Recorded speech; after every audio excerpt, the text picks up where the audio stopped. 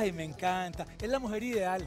Sí, es la mujer ideal porque le encanta el fútbol. Ella es la mujer ideal. Uno puede hablar con ella de fútbol, es bella, apasionada por el deporte. ¿Sí o no, muchachos? Sí. Es cucuteña, mano. Excelente mamá, dedicada a su familia, al hogar y, por supuesto, a su profesión. Le encanta el chocolate y es fiel defensora de la vida animal. Aquí está la guapísima, esto lo digo en mayúsculas, Andrea Guerrero, bravísimo.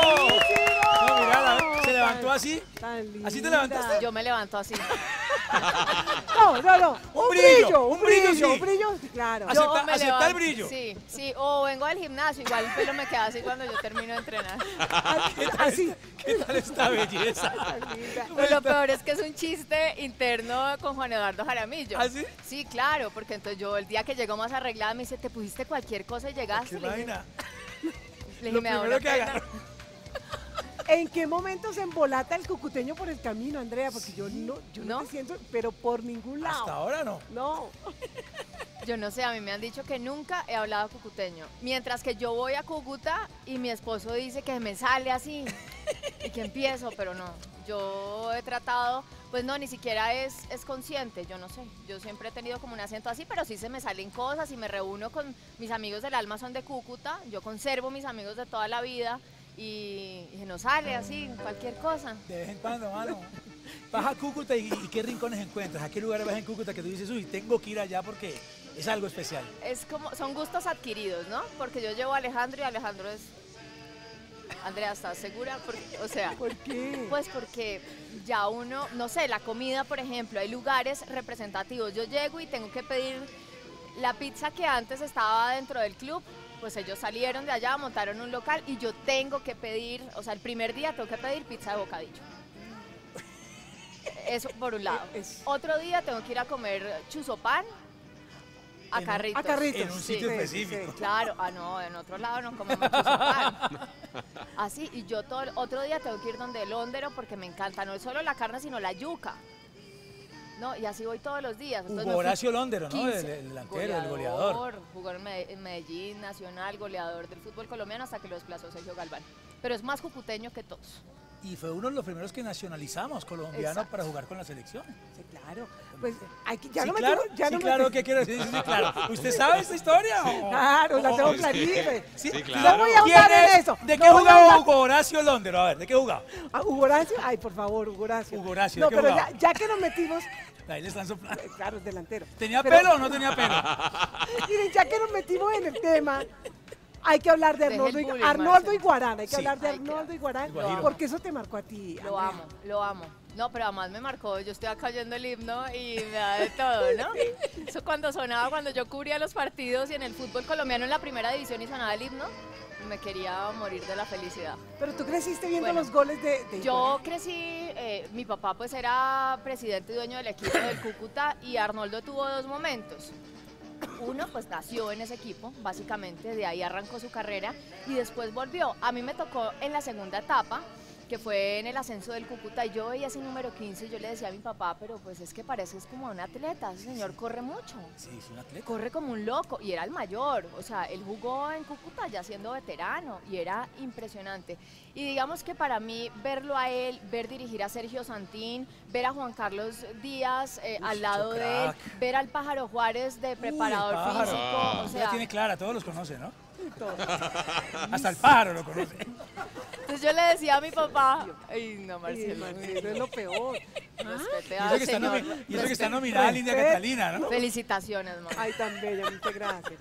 Andreita, ¿y tu mamá qué decía? ¿Tu papá? Bueno, Bueno, mi mamá ha sido como el soporte de la casa, porque es como la más racional con el tema del fútbol, pero igual sufría, ella pues es súper creyente, entonces ella siempre en las oraciones, yo creo que mi mamá creía que el Cúcuta era, que Dios era, se ponía la camisa del Cúcuta. Dios es cucuteño. Sí, y entonces yo le pedí a mi papá y le decía, pues digamos que yo, es, mi, mi hermano era el gerente del equipo, mi hermano Miguel. Y yo le decía a mi papá, papi, déjeme hacer en el banco, por favor, se lo pido Qué sueño. déjenme hacer en el banco porque yo era yo no le dejaba palco yo palco nada mis amigos hicieron una barra y es que barra de chocolate se llamaba desapareció La barra brava. Sí. Mate nombre por una barra brava. Barra de chocolate. y yo me sentaba en la tribuna y nunca me dejó hacer ahí me dijo algún día te vas a sentar ahí pero la Di Mayor no me lo autoriza Y ahí estuve, ahí estuve 10 años en Fútbol Manía y hoy Colombia grita gol. Eh, ¿A, a qué edad, ¿A qué edad fuiste por primera vez al estadio? Que tú tengas memoria. Prim- primera vez que te dijiste, uy, Dios mío, ¿qué es esto? Entraste ahí.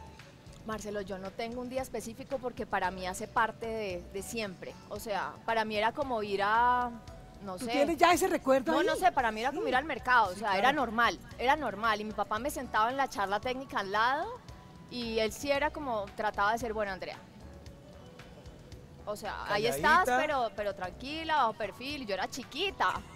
Y él me explicaba y me decía, así se paran los equipos. Y yo me acuerdo de las charlas de Sergio Santín y yo algún día, mi papá hacía parte pues de, de la federación también, eh, de- del comité ejecutivo de la Di Mayor, y le dije, por favor, yo quiero conocer a Chicho Serna. Esa generación, estaba Freddy Rincón, y jugaban en San Cristóbal contra Venezuela. Siempre los partidos eran allá, entonces tuve la posibilidad de conocerlos. Para mí era un sueño el tema del fútbol. Y detestaba a los periodistas, y entonces ya todo ese cuento que ya sabemos, pero yo quería estar ahí, hacer parte de eso.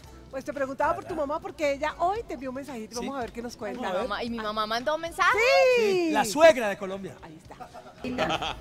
Buenos días a toda la mesa de, de- a toda la mesa de Bravísimo.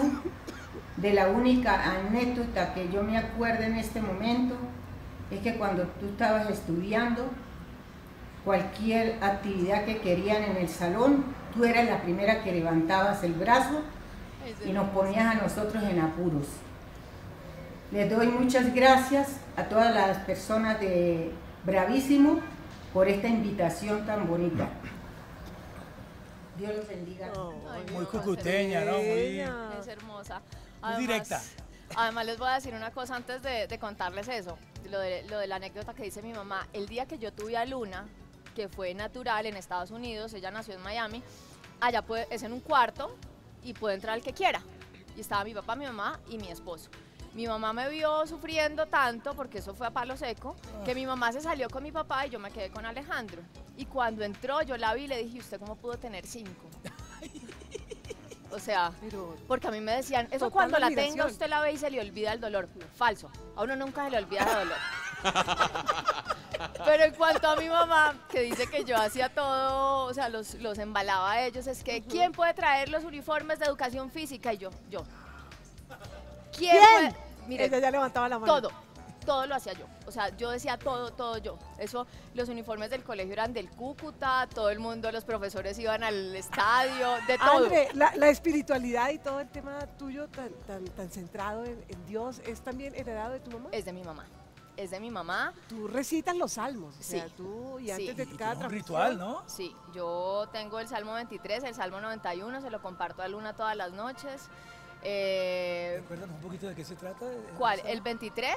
El ¿Ese? 23 dice, Jehová es mi pastor, nada me faltará. En lugares de delicados pastos me hará descansar. Y el 91, bueno, pues es más largo, pero pues ya me vuelvo aburrida ya hasta ahora. y el 91, el que habita el abrigo del Altísimo morará bajo la sombra del Omnipotente. Qué bonito. Yo hago eso, siempre tengo en la cabeza Isaías 41:10, que es como no temas porque yo estoy contigo. Y yo en un avión, desde que soy mamá, subirme a un avión es horroroso.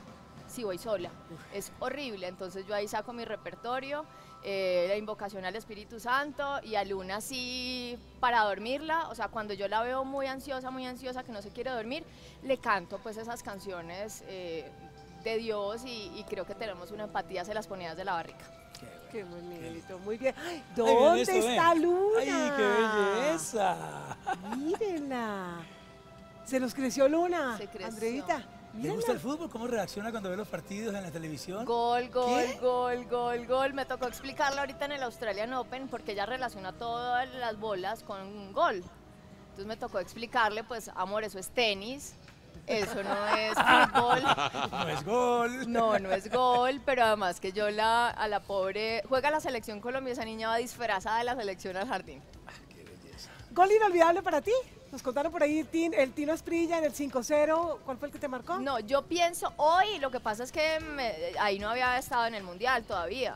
Para mí yo creo que es el de James, o sea, el de contra El del Uruguay. Mundial. Sí, para mí porque lo viví, tenía luna en la barriga después de ese día, tanto bullying, eh, fue que pasó todo lo que pasó, de, de- de que supuestamente es que estaba borracha. Entonces yo ese día lo tengo aquí porque desató un momento difícil en mi vida y el más feliz de todo, fue como el más agridulce. Si me ponen a escoger del 5-0, ¿Cuál de todos? ¿tú qué dices? El que, el que el tino le pega por arriba. ese, es el, ese es el mejor Es gol, que es el tercero. Tercer gol. Sí, porque es el tercero, Tino- ¿cierto? El Tino con un desparpajo Yo va como el trotando, como que no quiere, y de repente le pega de una manera crack y la pone en un sitio donde Goicochea simplemente mira como para no perderse el gol. Hay un libro de Mauricio Silva muy chévere que habla de todas las anécdotas del 5-0, pero creo que eso Bueno, marcó. tenemos dinámica. Ah, sí, hay un test. Sí, sí, sí, tenemos eh, un test para Andrea. ¿Me van a corchar? No, no, No, creo. no, No, no, no, no, creo. no, Andrea no, sabe no, no. todo. Vamos No, a ver si reconoces a estos jugadores. Uno por uno. ¿Quién es este jugador? Iniesta. ¿Andrés Iniesta? Andrés La Iniesta. respuesta es correcta. Muy bien. Muy Siguiente bien. imagen, por favor. Ay, no, ¿qué es este ¿Quién es este? Enzo, Francesco. Enzo Francesco. ¿Usted sabe quién es Enzo Francescoli? Claro, pero. Claro. pero- Oh, ahí está, el ¡Ay, Enzo. claro! No está mandando la corcha a nadie. Siguiente jugador. Ay, no, no me presionen. ¿Quién es este? Iker. Casillas en el Real Madrid. Iker Casillas. ¡Correcta la respuesta! Oye, pero eso es de No, una. ¿ah? ¿Quién es este Está jugador? volando. Lionel Messi, por Ahí supuesto. Sí, el man- ¡El mío! uno de los más grandes. Ahí está. Y el último. ¿Ya? Zinedine Zidane. Ay, ¿eh? Ah, No, no, sí. muy Ay, qué fácil. ¿Por jar- ¿Jartera con Zidane? ay, qué jarteras. ¿Por qué? Ay, porque yo Dice hubiera, una cosa y hace yo otra. hubiera preferido quedar con el jugador que con el técnico de James. Sí, Me parece que es incoherente, pero respeto sus temas internos. pero rapidito antes de ir con Jair, se va Isco, no renovó Isco. Esto abre una, una posibilidad para James de... de- de- Abriría una posibilidad si fuera el primer cambio. Lo que pasa es que a veces James es el quinto. Sí. Yo espero que él vuelva ahorita que ya está listo después de la lesión y que vuelva a entrar porque terminó jugando eh, los últimos partidos y se y lesionó. terminó jugando bien. Muy bien, es O sea, un crack. bien, es un crack. El pecho arriba, cabeza levantada. Y yo solo quiero que los colombianos lo protejamos, porque Sí. aquí los colombianos le damos más duro y uno tiene que respetar Uy. como los argentinos a sus ídolos, sobre a todo, muerte. sobre todo tu amigo, Cierto. tu compañero. ¿Quién? Bueno, El- después hablamos del... ¿Quién? Eh, ¿Quién? quién? no, no, Oye, no, se se va a meter a la cocina. ¿Qué? Sí, claro, te vas a meter a ¿Se la va a meter a la cocina. cocina? Me va a meter a la cocina. Esa cara.